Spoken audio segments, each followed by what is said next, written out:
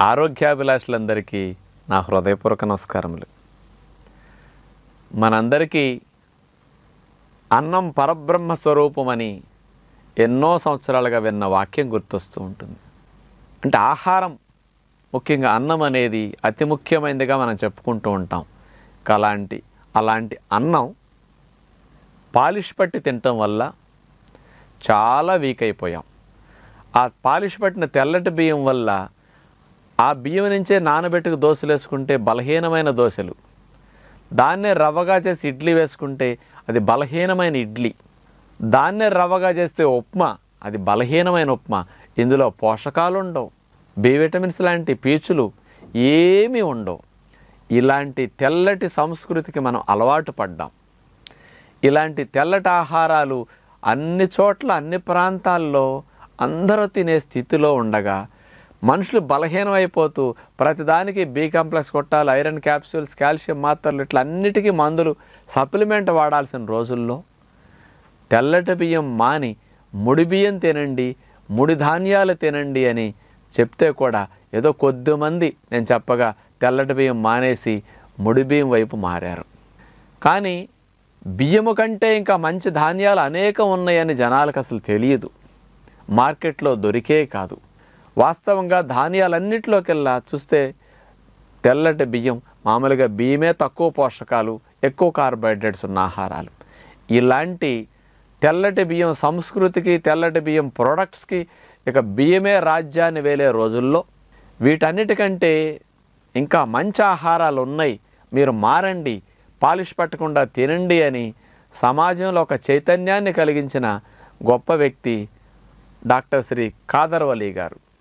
వారి యొక్క ప్రచారం ద్వారా ఈ మిలెట్స్ ఒక ఊపందుకుని సమాజంలో అందరినీ తెల్లటి బియ్యం వైపు నుంచి మంచి వైపు మళ్ళించాయి వాస్తవంగా కొర్రలు అండ్రు కొర్రలు సామలు ఇలాంటివన్నీ కూడా అరికలు ఇవన్నీ కూడా చాలా పోషకాలు ఉంటాయి కార్బోహైడ్రేట్స్ కొంచెం తక్కువ ప్రోటీన్ ఎక్కువ వీటన్నిటికంటే పీచులు ఎక్కువ కానీ ఇవన్నీ ఏనాటి నుంచో తిన్నవే మరుగున పడిపోయాయి.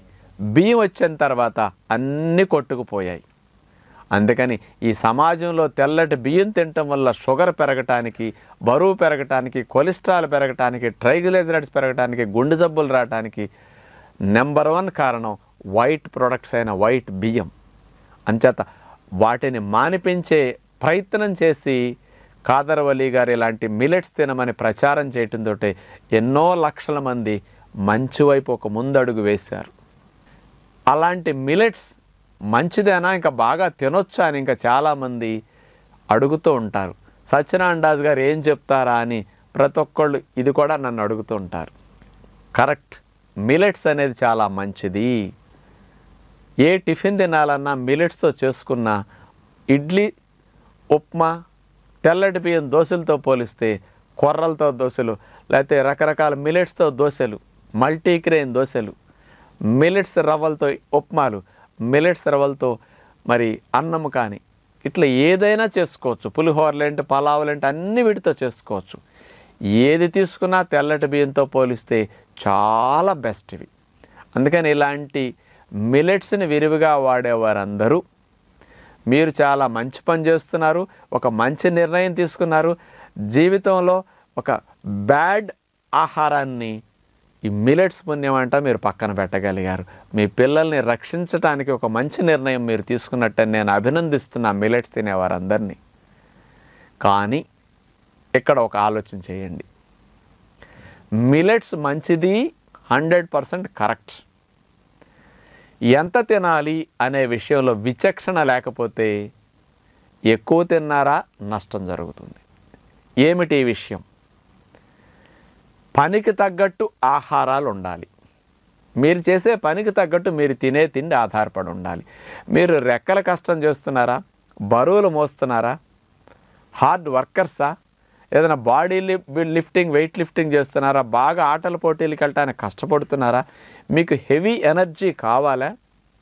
మిలెట్స్తో అన్నం వండుకొని రెండు పూట్ల బాగా తినండి సరిపడా. మీకు శ్రమ చేసే అవకాశం లేదా? నీడపట్టున కూర్చుని ఉంటున్నారా? మీరు ఓవర్ వెయిట్ ఉన్నారా? మీకు డయాబెటీస్ ఉందా? మీకు ట్రైగ్లిజరైడ్స్ కొలెస్ట్రాల్ ఎక్కువ ఉన్నాయా? మీకు హార్ట్ జబ్బులు వచ్చే రిస్క్ ఉందా? ఇలాంటి కండిషన్స్లో మిలెట్స్ మంచిదని మధ్యాహ్నం ఇంత అన్నం రాత్రికి మిలెట్స్ ఇంత అన్నం ఈరోజు ఒక రకం రేపు ఒక రకం ఇట్లా ఎక్కువ వండుకుని అన్నాలు ఎక్కువ తిన్నామంటే కార్బోహైడ్రేట్స్ కూడా ఎక్కువ అవుతాయి. బియ్యం సెవెంటీ సెవెన్ పర్సెంట్ కార్బోహైడ్రేట్స్ని కలిగి ఉంది కొర్రలు అరవై ఒక్క పర్సెంట్ కార్బోహైడ్రేట్ని కలిగి ఉంది ఇంకా కొన్ని సామలు అరికలు అండ్రుకొరలు ఇవన్నీ ఒక ఐదు పది పర్సెంట్ బియ్యంతో పోలిస్తే కొంచెం హెచ్చు తగ్గులు ఉంటాయి. బియ్యమే ఎక్కువ వాటికంటే తక్కువలో ఉంటాయి. వేరియేషన్స్ ఉన్నాయి కార్బోహైడ్రేట్స్లో. కానీ బియ్యంలో సెవెంటీ సెవెన్ ఉండి ఈ మిలెట్స్లో ఐదు పది పర్సెంట్ కార్బోహైడ్రేట్స్ కాదండి. మినిమం సిక్స్టీ అంతకంటే ఎక్కువే ఉన్నాయి మిలెట్స్లో కార్బోహైడ్రేట్స్. ఐదు పది పర్సెంట్ డిఫరెన్స్ అంతే. కానీ కార్బోహైడ్రేట్స్ అనే వాటిని పనిని పట్టి మనం పెంచుకోవాలి. ఎక్కువ పని ఉంటే ఎక్కువ తినాలి తక్కువ పని ఉంటే తక్కువ తినాలి. అందుచేత ఈ మిలెట్స్ని ఉద్యోగస్తులు వ్యాపారస్తులు నీడపట్టును కూర్చునేవారు డయాబెటీస్ ఉన్నవారు ఒబిసిటీ ఉన్నవారు తగ్గించి తినాలి అనేది నా విజ్ఞప్తి. ఎందుకు? మీరు ఒక గ్లాసు బియ్యపు డబ్బాలో ఉంటుంది. కొలత గ్లాసు. ఒక్కొక్కరికి ఒక గ్లాస్ చొప్పున మీరు పోస్తుంటారు అన్నం వండుకునేటప్పుడు. బియ్యం ఒక గ్లాసు పోసారు కాబట్టి ఇప్పుడు కొర్రలు తింటున్నారు ఒక గ్లాసు పోస్తారు. సుమారుగా ఏవి తీసుకున్నా మూడు వందల నలభై క్యాలరీలు. ఒక గ్లాస్ అంటే నూట యాభై గ్రాములు వస్తుందండి కొలిస్తే. మూడు వందల నలభై మూడు వందల యాభై క్యాలరీలు ఎనర్జీ వస్తుంది. రెండు పూట్ల మిలెట్స్ అన్నవు తిన్నామంటే సుమారుగా మరి హండ్రెడ్ గ్రామ్స్కి నూట యాభై గ్రాములు ఇది. కాబట్టి ఐదు వందల క్యాలరీస్ దగ్గర దగ్గర వస్తాయి. మిలెట్స్ అన్నం ఒక పూట తింటే. సాయంకాలం మళ్ళీ మిలెట్స్ అన్నవి తిన్నామా ఐదు వందల క్యాలరీలు వస్తాయి. రెండు పూట్ల తింటే థౌజండ్ క్యాలరీస్ అవుతాయి. పోషకాలు వస్తున్నాయి బి విటమిన్స్ ఉన్నాయి పీచులు ఉన్నాయి ప్రోటీన్ ఉంది ఇవన్నీ మంచిదే. కానీ క్యాలరీస్ ఎక్కువ అవుతున్నాయి. రెండు పూట్ల మిలెట్స్ అన్నం తిన్నప్పుడు అన్నం ఫుల్గా తినేస్తే. అంచేత మిలెట్స్ అన్నం తిన్నా తక్కువ క్వాంటిటీ తినాలి. మీరు బరువు తగ్గాలి షుగర్ తగ్గాలంటే అంచేత నేను క్వాంటిటీ తగ్గించమంట. అన్నముగా ఎక్కువ తినకండి. బరువు తగ్గాలన్నా షుగర్ తగ్గాలన్నా రొట్టెలు తినమంటాను. రొట్టెలు తింటే ఎందుకు తగ్గుతారు? మిలెట్స్తోనే రొట్టెలు చేసుకోండి. మంచిది అది పిండి ఒక పుల్కా చేస్తే ఇరవై గ్రాములు మ్యాక్సిమం పాతిక గ్రాములు పిండి పడుతుందండి. రెండు పుల్కాలు తింటే యాభై గ్రాములు నలభై గ్రాములు పిండి అంతే.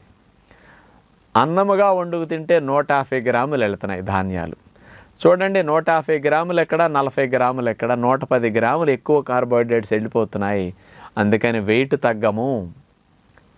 కొవ్వు కరగదు షుగర్ త్వరగా తగ్గదు.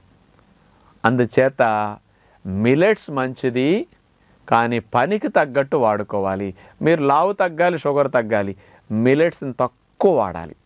తక్కువ అన్నం పెట్టుకుని ఇంత అన్నం పెట్టుకుని ఇంత కూర పెట్టుకుని తినలేం కాబట్టి నేను రొట్టెగా చేసుకోండి మిలెట్స్ని లేకపోతే అట్టుగా పోసుకోండి.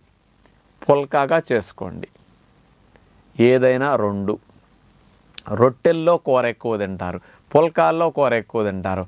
అన్నంలో కూర ఎక్కువ మనం తినలేము. ఈ డిఫరెన్స్ ఉంది. అంచేత మీరు మిలెట్స్ మంచిది అని మారటం చాలా మంచిది. కానీ ఆ మిలెట్స్ని కూడా తగు మోతాదులో వాడినప్పుడే మీరు బరువు షుగర్ తగ్గుతారు. మంచిది అని బాగా తిన్నాము అంటే అన్నం వలె మీరెవ్వరు బరువు తగ్గరు షుగర్ తగ్గదు. తాత్కాలికంగా తగ్గిన అక్కడి నుంచి ఆగిపోతుంది. ఇక్కడ మీరు కొత్తలో మిలెట్స్ తిన్నప్పుడు ఎందుకు తగ్గుతారంటే మీరు బియ్యం తిన్నట్లుగా అన్నం కొర్రలన్నం సండ్రు కొర్రలన్నం సామలన్నం వెంటనే ఎక్కువ తినలేరండి. ఇప్పుడు కర్ణాటక వెళ్ళారండి రాగి ముద్ద పెట్టారు. అన్నం ఎంత తింటాం? రాగి ముద్ద కర్ణాటక వాళ్ళు తిన్నట్టు మీరు తింటారా? ఆంధ్ర వాళ్ళు తినలేరు. కొంచెం తింటారు. కొన్నాళ్ళు కొంచెం తినేసరికి ఆటోమేటిక్గా రాగి ముద్ద తిన్నందుకు తగ్గిపోతారు ఆంధ్ర వాళ్ళు. రాగులు తగ్గించాలి అక్కడ మిమ్మల్ని బరువు. రాగి ముద్ద తినలేక కొంచెం తిన్నందువల్ల మీరు బరువు తగ్గారు అక్కడ. ఆరు నెలలు ఐదు నెలలు తినేసరికి రాగి ముద్ద అలవాటై కర్ణాటక వాళ్ళు తిన్నట్టు మీరు రాగి ముద్ద తెరపడి తినేస్తారు. బరువు తగ్గటం అయిపోయి మళ్ళీ పెరగటం స్టార్ట్ అవుతారు. డిఫరెన్స్ అట్లా ఉంటుంది. అలవాటు పడేలోపు కొంచెం తింటాం. కానీ కొంచెం తిన్నా క్యాలరీస్ ఒకటే కాబట్టి వీటన్నిటిలో సుమారుగా అన్నీ ఒకటే క్యాలరీస్ కాబట్టి నేను అన్నంగా తింటాం మానేసి రొట్టెగానో అట్టుగానో పుల్కాగానో చేసుకోమంటాను. క్యాలరీస్ క్యాలిక్యులేషన్ చెప్పాను కదా? మల్టీగ్రెయిన్ పిండి పుల్కాలు రెండు తింటే నూట నలభై క్యాలరీలు మీరు ఒక గ్లాసుడు అన్నం వండుకుంటే మిలెట్స్ ఫైవ్ హండ్రెడ్ క్యాలరీస్ నూట యాభై గ్రాములు పోస్తాం ఒక్కొక్కళ్ళకి చిన్న గ్లాస్ అంటే నూట యాభై గ్రాములు మిలెట్స్లో అప్రాక్సిమేట్లీ ఫైవ్ హండ్రెడ్ క్యాలరీస్ రెండు పుల్కాలు తింటే నూట నలభై. ఒక గ్లాసుడు మిలెట్స్ వండుకుంటే ఐదు వందల క్యాలరీలు. అంటే మూడు వందల అరవై ఎక్కువగా అందిస్తున్నాం మనం కదిపే వేళ్ళు కదిపే పనులకి పులకాలు చాలు. అంచేత మల్టీగ్రెయిన్స్ కానీ మిలెట్స్తో పులకాలు కానీ ఏవైనా పెట్టుకోండి. వీటిలో కూర ఎక్కువ తింటారు. ఉద్యోగస్తులు వ్యాపారస్తులు నీడపట్టును కూర్చోన్నవారు షుగర్ ఉన్నవారు బరువు ఉన్నవారు కొవ్వు కొలెస్ట్రాల్ ఎక్కువ ఉన్నవారు వీళ్ళందరూ రొట్టెలు తింటే కర్రీస్ ఎక్కువ తినగలుగుతారు. మూడొంతులు కర్రీస్ నింపాలి మీరు ఆకుకూరలు కానీ కూరలు కానీ ఎందుకు? కర్రీస్ అంటే కార్బోహైడ్రేట్స్ బాగా తక్కువ ఉంటాయి. ఇక్కడ ఒక ఎగ్జాంపుల్ చెప్తాను. వంద గ్రాములు ధాన్యాల్లో sixty sixty five seventy grams carbohydrates ఉంటే సుమారుగా వంద గ్రాములు కూరగాయల్లో నాలుగు గ్రాములు మూడు గ్రాములు కార్బోహైడ్రేట్స్ ఉంటాయి యావరేజ్న. వంద గ్రాముల ఆకుకూరలో five grams six grams carbohydrates ఉంటాయి. ఎక్కడ సిక్స్టీ సెవెంటీ గ్రామ్స్ కార్బోహైడ్రేట్స్ అండి మిలెట్స్లో ఎక్కడ four grams five grams six grams carbohydrates అండి? అందుకని లో కార్బోహైడ్రేట్ డైట్ ఎక్కువ తినాలి హై కార్బోహైడ్రేట్ డైట్ తక్కువ తినాలి. ఇది వాస్తవం. ఈ విచక్షణ తెలియక కూలి పని చేసుకునే తల్లిదండ్రుల కడుపున పుట్టిన మనము వాళ్ళు ఇంతంత అన్నం తిన్నారని మనము ఇంతంత అన్నం తినే సంస్కృతికి అలవాటు పడి అదే అన్నాన్ని కంటిన్యూ చేస్తున్నాం. మీ అమ్మా నాన్న కూలి పని చేశారు వాళ్ళు చేసిన పని మీరు చేశారా మరి? వాళ్ళు తిన్నట్టు మీరు అన్నం అంత అంత అన్నం తినటానికి? ఇప్పుడు ఉద్యోగ వ్యాపారాల్లో ఇంకా ఆ పని కూడా తగ్గిపోయింది కదా. అంచేత ఇంతంత అన్నం తినే అర్హత మనకి లేదు. ఈ అన్నము తినే అర్హత లేదు మనకు అసలు వేళ్ళు కదిపే పని చేసేవారికి. రొట్టెలు పుల్కాలు అట్టులు ఇలాంటివి చేసుకోండి. కర్రీస్ ఎక్కువ తినండి. మిలెట్స్ మంచిది. కర్రీస్ ఎక్కువతో మిలెట్స్ కొంచెం క్వాంటిటీ వాడుకుని తినండి. లేదండి నేను అట్టు తిన్న మిలెట్స్ తింటాను అంట అన్నం వండుకొని తినండి. స్పూన్తో పెట్టుకోండి. శుభ్రంగా సరిపోతుంది అప్పుడు. గరిట వద్దండి హస్తం ఈ జన్మకు వదిలేయండి ఇక. స్పూన్తో ఇంత కొరలన్నం పెట్టుకోండి. మీరు తినగలిగితే తినండి. నా ఉద్దేశం కూరలు ఎక్కువ తినాలి. కూరలు ఎక్కువ తినాలంటే అన్నంలో ఎక్కువ తినలేం. పుల్కాల్లో కానీ అట్టులో కానీ రొట్టెలో కానీ తినగలుగుతాం. అంచేత మీరు అన్నమే తింటానంటారా? అంత స్పూన్తో కూరలు అన్నం పెట్టుకోండి. కర్రీస్ ఇట్లా పెట్టుకోండి. చక్కగా బెనిఫిట్. మీరు జీవితకాలం మిలెట్స్ని మానొద్దు. ఇది నేను కోరుకుంటున్నా. కాదర్వలి గారు చెప్పిన మంచి ఆహార ధాన్యాలు ఈ ఐదు రకాల ధాన్యాలు మిలెట్స్ చాలా బెస్ట్ అవి.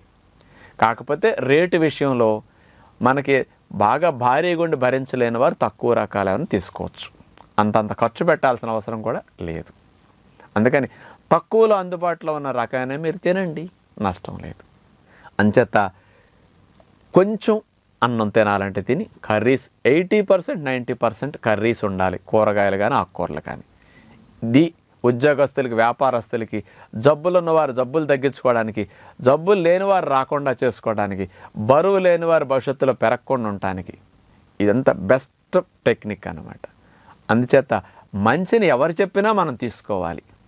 అంచేత అలా మిలెట్స్ ఇంత మంచిదని ప్రచారం చేసినందుకు మనందరి తరపున వారికి అభినందనలు.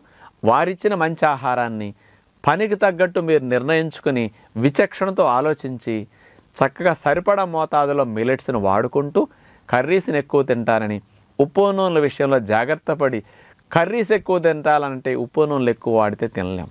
అంచేత వాటిని ఎంత కట్ చేస్తే ఆరోగ్యానికి అంత మంచిదని ప్రపంచంలో డాక్టర్లందరూ చెబుతున్నారు.